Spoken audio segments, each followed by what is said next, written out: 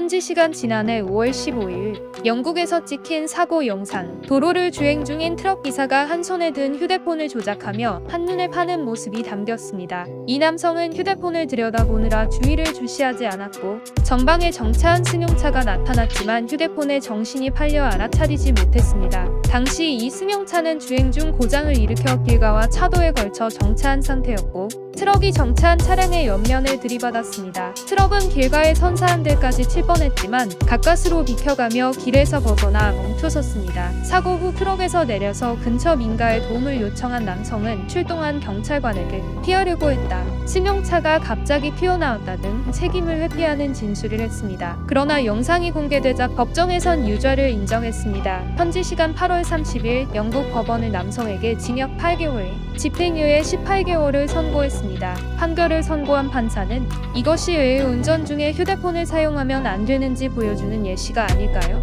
라고 말했습니다. 남성에겐 이에 더해 대고식 시간의 사회봉사와 오후 7시부터 다음날 오전 7시까지 외출금지 명령도 내려졌습니다.